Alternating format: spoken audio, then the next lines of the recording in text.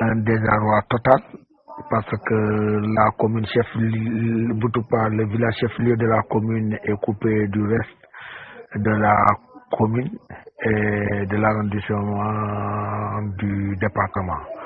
Donc c'est vraiment l'occasion de transmettre aux autorités étatiques, administratives et de bonne volonté toute la détresse de ces populations qui demandent une intervention urgente parce que Boutoupa, c'est un poumon économique dans le département de Giguinchor.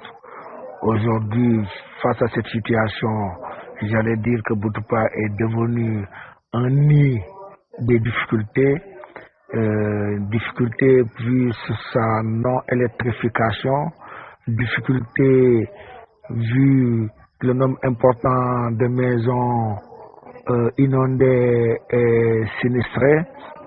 Donc euh, aujourd'hui, avec euh, cet enclavement, vraiment nous ne savons pas à quel sein nous vouer.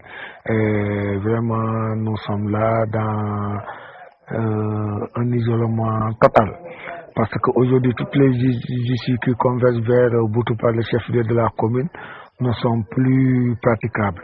Euh, à partir de Soukuta, entre Soukuta et euh, Guidel Babadinka pour venir à Boutoupa, à toujours après le pont, le pont c'est devenu impraticable.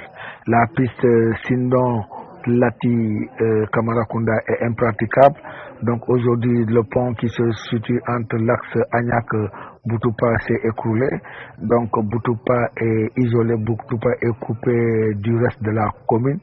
Et Boutoupa, chef-lieu de la commune, est coupé de l'arrondissement, de la région, du département. Donc nous demandons une intervention urgente des autorités parce que Boutoupa renferme beaucoup de potentialités économiques